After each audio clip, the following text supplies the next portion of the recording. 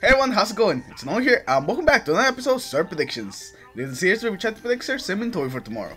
Unfortunately, last week, I wasn't able to predict anything correctly. The week I do not predict the Prospector is the week that Xur actually brings it. You gotta be kidding me. So yeah, I didn't guess anything correctly, but some of you guys rose above the top and actually predicted something correctly. And here they are. Congratulations on predicting something correctly, and let's see if you can do it again this week. Remember, if you guys would like to get featured in next week's episode of Xur Predictions, just leave your predictions in the comments below, and if you get something correctly, you'll be featured in next week's episode. And with that, let's get on to today's predictions.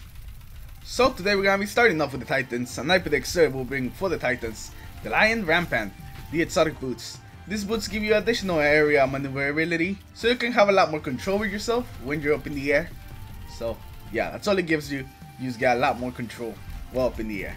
It's actually pretty useful, but I don't know if it's useful enough for it to take your exotic slot since the Titans have some pretty good exotic armor pieces like the War Rig, the Dune Marchers, the Skullfort, so I'm not sure that this one can compete with them. Alright, so now let's move on to the Warlocks and I predict Xur this week we're waiting for the Warlocks, the Lunafaction Boots. This allows your Rift to gain an additional ability to automatically reload your allies' weapons. So you step on the Rift and your weapons automatically get reloaded. This is really good for boss damage or when you want to do a lot of damage in a short amount of time since you can just keep stepping in and out of the Rift with your power weapon and you dump all your rocket launcher ammo, grenade launcher, actually who uses a grenade launcher? Your rocket launcher ammo, your sniper ammo, or whatever else that you have. This is actually the only exotic I'm missing for the Warlock, and I really want it. I want to see what I can do with the Rift just automatically reloading my weapons. Alright, so now let's move on to the Hunter, and I predict that this week will bring for the Hunters the Lucky Raspberry, the exotic chest armor. The Lucky Raspberry increases the chaining capabilities of the Arc Bolt Grenade, and it has a chance to recharge it each time it deals damage. It doesn't have to kill anybody, it just has to deal damage for it to have a chance to recharge it. And the Lucky Raspberry actually makes the Arc Bolt a pretty good grenade. It makes it pretty close to that wonderful thing known as the Year 1 Destiny 1 Arc Bolt. With the Lucky Raspberry, I believe I could chain up 3 different people, which is really nice. You do a lot of damage to 3 people if they're kinda close to each other, they don't even have to be next to each other since it has increased chaining capabilities. They have to be a couple meters from each other and they will still chain. And also, there's the whole thing of being able to do damage and recharging it.